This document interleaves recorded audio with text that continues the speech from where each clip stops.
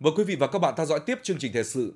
Xã Trung Hòa, huyện Yên Mỹ vừa cưỡng chế giải tỏa 6 trường hợp xây dựng vi phạm hành lang an toàn giao thông theo kế hoạch số 93A của Ủy ban nhân dân tỉnh Hưng Yên. 6 trường hợp vi phạm chủ yếu là xây dựng nhà ở, hàng quán, nhà trọ nằm trong hành lang an toàn giao thông tỉnh lộ 376, nằm trên địa bàn thôn Thượng Bùi. Tổng diện tích vi phạm là hơn 500 m2. Tất cả các công trình được các hộ lấn chiếm xây dựng trái phép từ năm 2010. Thời gian qua, xã Trung Hòa đã đẩy mạnh công tác tuyên truyền vận động để nhân dân hiểu và chấp hành quy định pháp luật. Kết quả có 5 hộ phối hợp với địa phương tự tháo rỡ công trình vi phạm.